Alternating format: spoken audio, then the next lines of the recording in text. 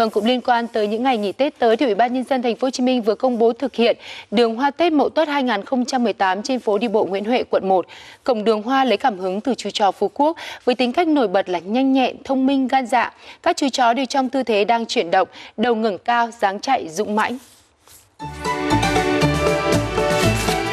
Hoa Tết Mậu Tuất 2018 với chủ đề Khát vọng vươn xa trên tổng chiều dài 720m sẽ khoác lên mình chiếc áo mùa xuân rực rỡ với những đại cảnh, tiểu cảnh để sắp đặt khéo léo, mang nhiều sắc thái thể hiện đa dạng với ba phân đoạn chỉnh thể, chính thể hiện chủ đề Mùa xuân thành phố hội nhập và phát triển, vươn tới tương lai. Năm nay đường hoa Tết sẽ kéo dài trong 7 ngày, từ ngày 13 đến ngày 19 tháng 2 năm 2018, tức là từ 28 tháng Chạp đến ngày mùng 4 Tết.